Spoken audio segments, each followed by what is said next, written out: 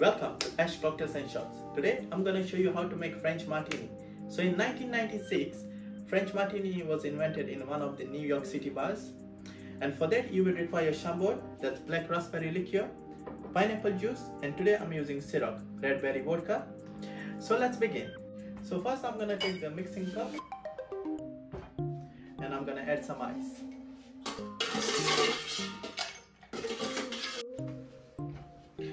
And first I'm gonna add a Chambord around 15 ml.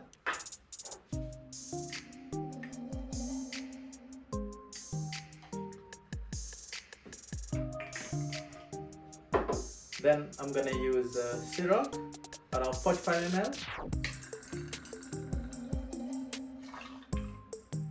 And now I'm gonna use a pineapple juice around uh, 50 ml.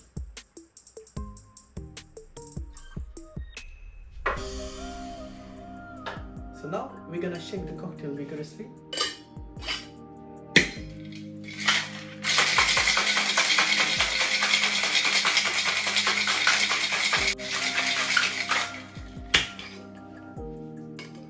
And now I'm gonna serve it in a nice chilled martini glass. Just gonna strain it.